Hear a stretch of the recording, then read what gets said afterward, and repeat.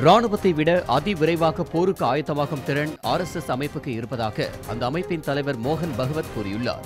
பீகார் மாநிலம் முசாஃபர்பூரில் ஆர்எஸ்எஸ் தொண்டர்கள் மத்தியில் பேசிய அவர் போருக்கு வீரர்களை தயார்படுத்த ராணுவத்திற்கு ஆறு ஏழு மாதங்கள் தேவைப்படும் என்றும் ஆனால் ஆர்எஸ்எஸ் அமைப்பானது மூன்றே நாட்களில் போருக்கு ஆட்களை தயார் செய்யும் திறன் படைத்தது என்றும் கூறினார். அத்தகைய சூழ்நிலை ஏற்படும் போது அரசமைப்பு சட்டம் அனுமதிக்குமானால் ஆர்எஸ்எஸ் தொண்டர்கள் முன்னிலையில் இருப்பார்கள் என்றும் பகவத் தெரிவித்தார்.